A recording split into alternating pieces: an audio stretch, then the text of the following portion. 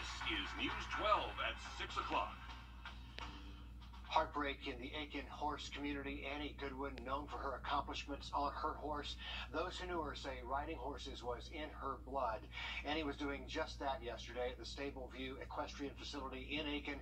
That's when they say her horse missed a jump. The horse threw her off and then fell on top of her, and Annie later died. Stable View is closed now for the next two weeks, but since the accident, messages of support for Annie's family have been pouring in on social media.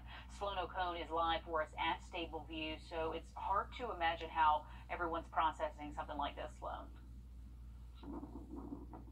Understandably, everybody is very upset. They say, friends say that they are going to miss her smile and infection, infectious, positive personality the most.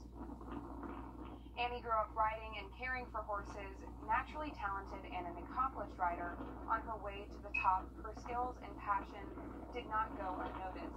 Olympic equestrian Will Coleman wrote on Facebook that she will continue to inspire the people she knew personally and professionally.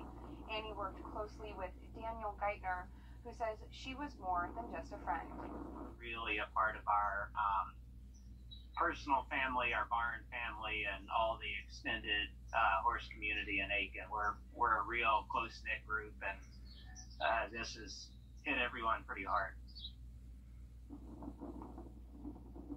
When I spoke to the people at Stable View, they said that this is just so hard for her family and for her working family, and they're going to do everything that they can in order to honor and remember her legacy. They just don't have anything set in stone yet. Just a heartbreaking turn of events, really a freak thing that you don't hear about a lot in the horse community. Thanks for that, Sloan. And we're going to have more about her legacy coming up tonight at 11. We heard some of the wind noise there coming from that live shot in Aiken. Here's a look at it from our Grovetown live line. If you've seen the rain, you're cooling off into the 80s. We'll have a look at that weekend forecast for you in just a little bit. Three people in 13 hours hurt or killed by gun violence. The ripple effect goes much deeper. It's terrifying. My uh, fiance left the house right around the same time to go to work that the shooting happened. It could have hit his car. It could have been him. You know, it, it could it could have easily been him this morning, and that's why I'm furious. They are in different counties at different times, but there is a common thread with these shootings.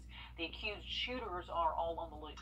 Well, Rio spoke with neighbors who say just because they weren't the target, that does not make them feel any better. And there are a lot of neighborhoods involved here. The first yesterday evening at 6 at the Foxton Apartments off Wrightsboro Road in Augusta. A few hours later at 11:30 that night, Aiken County deputies were called to Aiken Regional where they were treating a victim or shooting victim, and that's when they learned about a shooting in Graniteville on Aiken Road. A man died there. Then at 7:15 this morning, Aiken County deputies were called back out for a woman shot in the head, this time to Audubon Circle. People told me this feels all too common. And it's all hours of the night. It's terrifying. That's the reality for soon to be mother of two, Emily Perry, living just around the corner from the shooting on Audubon Circle in Aiken County. Just it's sick. It's it's not good. You don't you don't really sleep well, especially after something like that. She says the neighborhood is known for drug activity. The Aiken County Sheriff's Office tells us they've been to this house 64 times since 2013 for different calls. We can only call the cops so much. What are you do? In a separate shooting incident in Graniteville, a 26 year old is also dead after being gunned down outside a home.